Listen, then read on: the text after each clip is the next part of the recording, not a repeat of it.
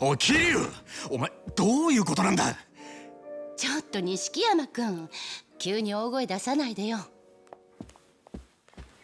お前堂島組に復帰したってマジか？え？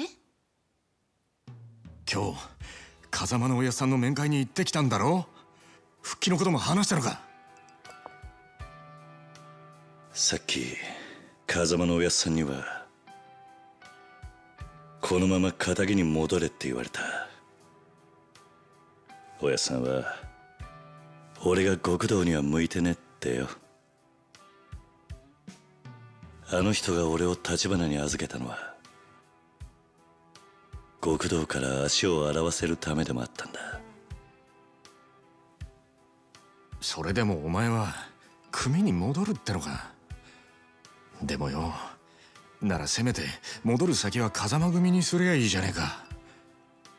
あんだけやらかした堂島組に復帰したら苦労すんのは目に見えてんじゃねえか。もう一回考え直せよ。いやそれが俺がするべき最初のけじめだって思ったんだ。え？俺はあの一件でたくさんの人間のけじめってのを見せつけられた。正直すげえって思った。極道だけじゃねえ。仇だって。マジで俺なんかまだまだだなって思い知らされた。そっか。でも俺もお前もまだ何が足んねえんだろうな。わかんねえ。わかんねえけど逃げちゃダメってことかな。逃げずに頑張ってそして残った道がそいつのやるべきことっていうか奴ら皆そうしてたんじゃないかな。でそいつを見つめるための堂島組復帰ってことか？ああ。今の俺にできるけじめのつけ方はそれしか浮かばねえ。でもなんとか踏ん張って俺は俺の極道を行くさ風間のおやっさんとは違う。俺だけの極道ってのをな。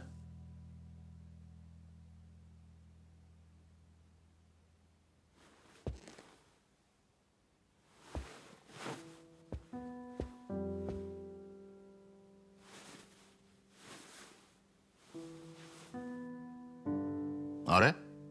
お前いつもの一丁羅は？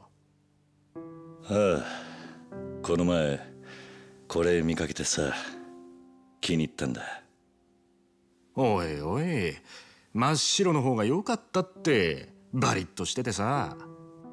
それにそんなスーツ今時どうなんだよ。しかもお前らしくないんじゃねえか？らしくねえか。でもらしさってのは自分で決めるもんだろあのなけじめ取るために復帰する組を選ぶのはまだわかるけどスーツくらい人の意見聞いたってバチは当たらねえぞ。いや俺はこれがいい。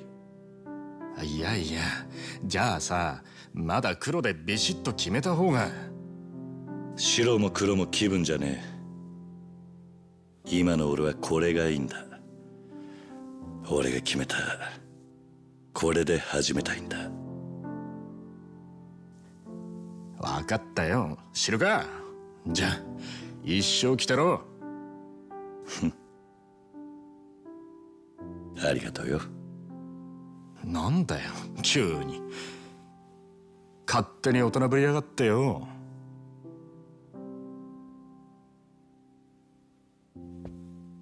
錦俺はお前にとんでもねえ借りをいっぱい作っちまった。ななんだよ急に。一生かかってでもこの恩は返すぜ。何言ってんだお前。